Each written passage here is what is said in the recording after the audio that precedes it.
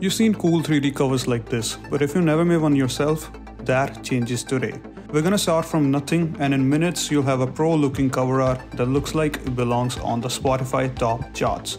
And it's all done in Blender so it's highly customizable as well. So let's go. Starting with the world setup, for the first step press shift A and add a plane and this will act as a background so just rotate it to be in front of a camera. I've turned on the render view here and for the lighting we're gonna just use one HDRI that will be our main source of lighting. So just go to Polyhaven and download any sky texture that you like.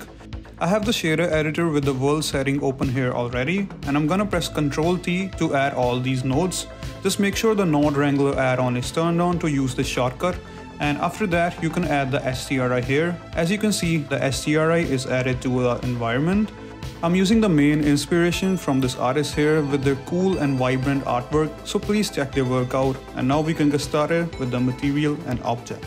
So let's add a new material for our background and change the color to be a vibrant orange or any other color that you like.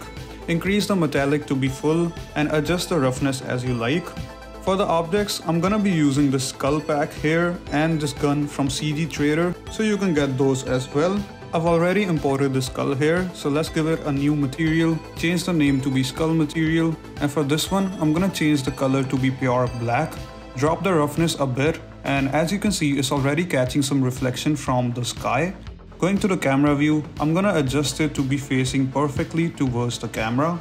Now look closely here, I'm bringing the plane closer towards the skull so it catches some more of the orange reflection that'll make it look more realistic and cool.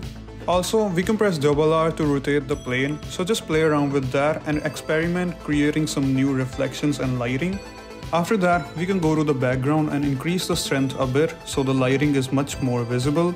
Also add a hue and saturation node here as well. This will help us in controlling the color and increasing the saturation. So increase the saturation a bit as the sky color will be easily visible and changing the hue a little to make it light blue. Also another thing to experiment with is the roughness of our background. More roughness adds a bit of shadow from the skull and less roughness creates a nice reflection so you can play around with this setting as well.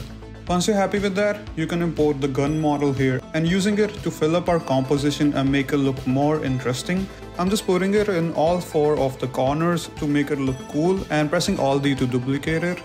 Even if you think it's done, the last 2% makes the biggest difference. So the first thing that we're gonna look at is compositor setting. I have this glare node set up here already and this will add nice glow to our cover art. The first glare node I've set it to simple star and is adding this nice star reflection. The second one I've set it to bloom and is adding this nice glowing reflection as well. Now we can press double R again to rotate the plane to catch some nice glowing reflections. For the next thing, we're gonna go to the object setting.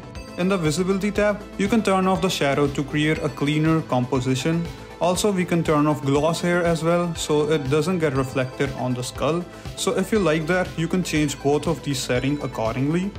Next, we can get started with text and titles. So to add text, press Shift A and add a text. We can edit it by pressing the tab key and change it to any text that you like. And here I'm just gonna speed up the process of adjusting it in front of the skull. Going to the text setting, we can add some extrude to it as well so it looks more 3D and add some depth to it and also add some bevel and change the font to something cool. Now you can see there is some space between the letters. To fix that, just go to the letter in edit mode and press alt, left or right key to change the kerning.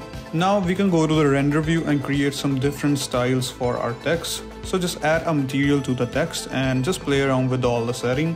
I'm increasing the metallic to be full and changing the color to be a bit gray and decreasing the roughness will add this nice glow to the text as well. Now we can create any amount of variation. Here I'm changing the color for the background but as you can see the sky is still the different color. To change it just go back to the hue setting that we added earlier and we can match the sky color to our background here. So just play around with all these settings to create some different and cool results and this is how the final artwork looks like. Hope this helps spark some ideas and I've got a whole playlist pack with more stuff like this. So check it out and thanks for watching.